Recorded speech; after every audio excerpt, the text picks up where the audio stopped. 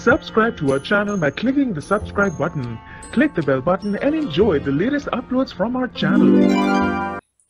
राही बनी आध्या आध्या बनी राही कर रही है शाह हाउस में एंट्री मगर उसके आने से पहले ही शाह हाउस के उड़ चुके हैं होश आगे क्या होगा नमस्कार दोस्तों, स्वागत है आपका आपके अपने चैनल हंग्री स्पिरिट्स में। हंग्री स्पिरिट्स देख रहे सारे दर्शकों का। मैं अंजू शर्मा दिल से स्वागत करती हूँ। राही के आने की बात हो गई है शाह हाउस में। सब लोग खुश है?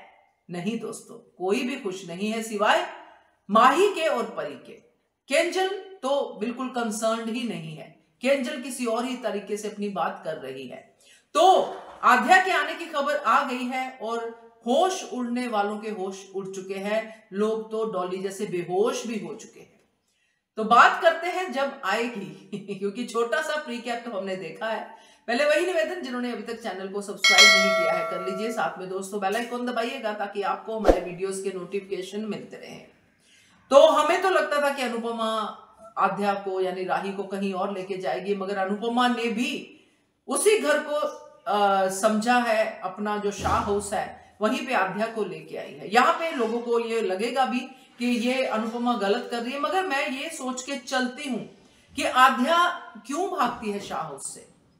क्यों नहीं उनका सामना करती? अनुपमा शायद आद्या को यही परिवार समझाना चाहती है कि अगर आज ये परिवार तुम्हें बुरा लग रहा है, कल को कोई भी परिवार में तुम रहोगी, वो परिवार को जब तक तुम समझोगी नहीं, जब तक उनका सामना नहीं करोगी, तब तक तुम अपनी लाइफ में ऐसे ही भागती रहोगी। मैं ये मान के चलती हूँ। तो अनुपमा आध्या को वहाँ पे लेके आई है और पहुँचते ही आध्या के लिए जो प्यार है शाह उसके मन में वो सामने आना शुरू हो गया, मगर वो ये भूल गए कि ये अब वो आध्या नहीं, ना ही वो छोटी है, अब ये राही है जिसने 10-12 सालों में ठोकरे खा ली हैं, दुनिया जहान की और अब वो ऐसे बच्चों को पाल रही है जो अनाथ हैं। और अब वो पक्की हो चुकी है क्योंकि हमने देखा है राही का ये सफ़र द्वारिका में, कि कैसे वो लोगों के साथ बात करती है, कैसे उसका गुस्सा नाक पे रखता, रखती है।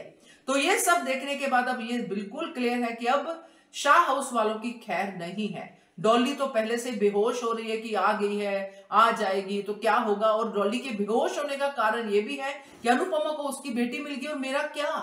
मेरी बेटी भी अनुपमा की बात मानती है और अनुपमा को भी उसकी बेटी मिल गई कहीं ना कहीं उनको ये लगेगा जब राही से मिलेंगे, क्योंकि राही ने तो ये भी कह दिया कि माँ को वो माँ नहीं मानती है। वो तो डील करके आई है कि मेरा आश्रम बचाओ और मैं आ जाऊँगी, जो हमने बात भी की थी पहले। तो अब वो इस हिसाब से राही को भी प्रवोक करने की कोशिश करेंगे और राही अपना उल्लू सीधा करेगी इन सबके बीच में।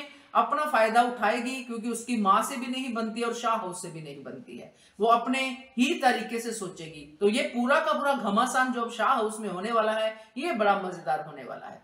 क्या कहते हो आप इसके बारे में? कमेंट कीजिएगा, देखते रहिए channel Hungry Spirits. Thank you so much Subscribe to our channel by clicking the subscribe button. Click the bell button and enjoy the latest uploads from our channel.